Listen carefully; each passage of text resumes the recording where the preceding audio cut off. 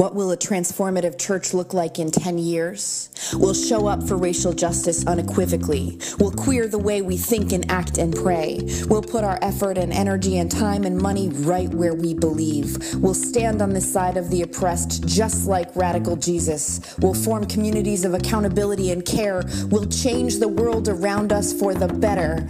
I'm Chris Davies and I want to know how you think we can be the church.